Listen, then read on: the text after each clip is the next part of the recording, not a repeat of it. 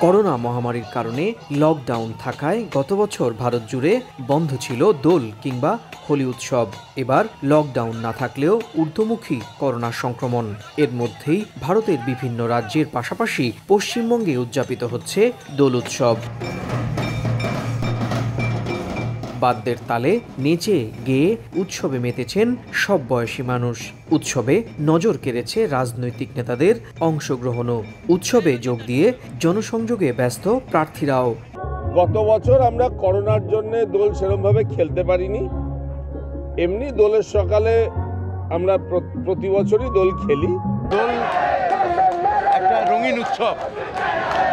বাঙালি দীর্ঘদিন ধরে দোল পালন করে আছে এবং বাঙালি হোলি নয় দোল পালন করে। বিজেপি বোধহয় হোলি পালন করে।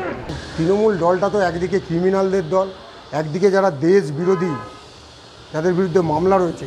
ছত্রধর মাহাতো বিমল গুরুং যত মাফিয়া ক্রিমিনাল তারাই তৃণমূলে ঢুকে পড়ছে। আর তৃণমূলে ঢুকলে সব মাপ ভোট আর হোলি উৎসবের মধ্যেই রাজ্যের বেশ কিছু জায়গায় নির্বাচনী সহিংসতার খবর পাওয়া যাচ্ছে। রাতের অন্ধকারে ভিন্ন মত অনুসারীদের বাড়িঘরে চালানো হচ্ছে হামলা। যদিও ভোটের নিরাপত্তা নিশ্চিতে রাজ্য জুড়ে মোতায়েন রয়েছে কেন্দ্রীয় বাহিনী। এরপরও নির্বাচনী সহিংসতার খবর উদ্বেগ বাড়াচ্ছে সাধারণ মানুষের মনে। সুব্রত আচার্য, সময় সংবাদ, পশ্চিমবঙ্গ, ভারত।